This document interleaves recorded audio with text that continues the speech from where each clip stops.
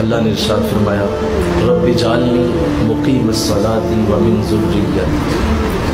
ए हमारे रब, ए मेरे रब, मुझे नमाज़ कायम करने वाला बना। व मिन ज़ुर्रियती, और मेरी औलाद को भी नमाज़ कायम करने वाला। हर शख्स औलाद चाहता है, और औलाद की ख्वाहिश करना और आरज़ू करना ये तो नबियों से भी साबित है। नबियों ने भी औलाद की दुआएँ मांगी हैं। औलिया ने भी औलाद तलब की है। हम सब औलाद चाहते हैं। और अल्लाह ने ये दिल में जो मोहब्बत डाली है औलाद की, ये बड़ी खूबसूरत है।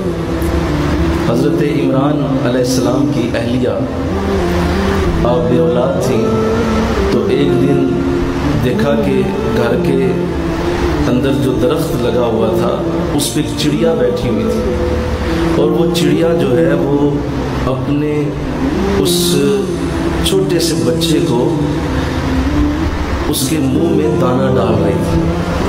जब ये मंजर देखा तो दिल तड़प उठा। उसी वक्त दुआ मांगी, मौला तो चिड़िया को भी बच्चा दे सकता है तो मुझे भी दे सकता है। मैं तो फिर इंसान हूँ। तो ये एक चिड़िया है, तूने इसे औलाद दे दी है, मुझे भी दे दे।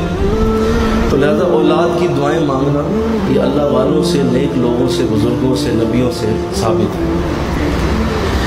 और औलाद इंसान के लिए कितनी ही बरकत और कितनी ही रहमत का सबब बनती है। अगर इस्लाम ने इरशाद फरमाया, अल्लाह जिसे बेटा अता फरमाता है, वो नेमत जैसा है। और जिसे बेटी अता करता है, वो रहमत जैसी है।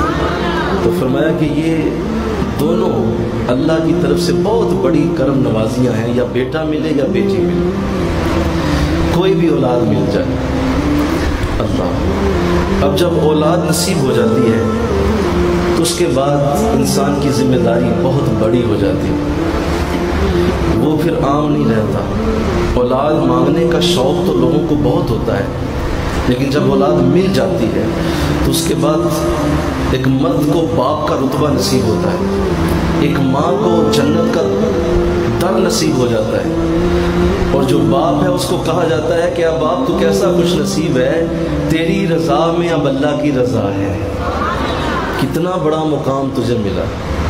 अब तो आम शख्स नहीं रहा, तेरी रज़ा में अल्लाह की रज़ा है। और जो माँ बनी है, वो भी कोई आम नहीं रही।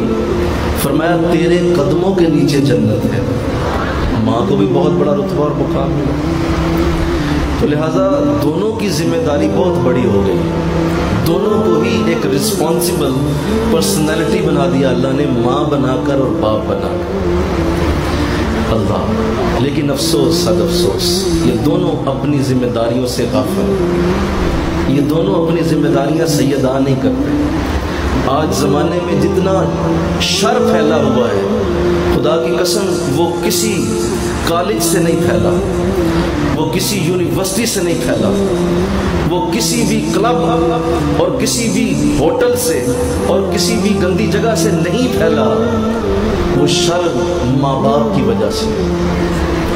वो गंदे माँ बाप वो बेनमाज माँ बाप वो सर से पाँव तक गुनाहों में लुथड़े हुए माँ बाप उनकी वजह से शर फैला हुआ है। और जितना खैर फैला हुआ है, वो भी किसी मस्जिद से नहीं, किसी मकतब से नहीं, किसी दरगाह से नहीं, किसी जो है वो बड़े खानका से नहीं, वो भी नेक माँ बाप की वजह से फैला हुआ है। खुदा की कसम सच कहता हूँ, नेक माँ बाप की वजह से दुनिया में खैर फैला हुआ नमाजी माँ बाप सच बोलने वाले, पर्दा करने वाले, हजूर की मोहब्बत में आँसू बहाने वाले, आका इस्लाम के इश्कों में, मोहब्बतों में नाते पड़ने वाले, उनकी वजह से खैर फैला। तो हम असल में डी ट्रैक हुए हुए हैं। हम कहते हैं नवाज़ शरीफ कसूरवार, जरदारी कसूरवार। ये इमरान खान अब कुछ नहीं कर रहा। ये देखे जी, मुल्क सारा लूट गए। फला हो गया, ये हो गया, ये सब फजूल वैसे हैं बेटो। असल बात की तरफ़ आओ। असल बात ये है कि माँ बाप अपनी ज़िम्मेदारी पूरी नहीं कर। माँ बाप ज़िम्मेदारी पूरी नहीं अल्लाह।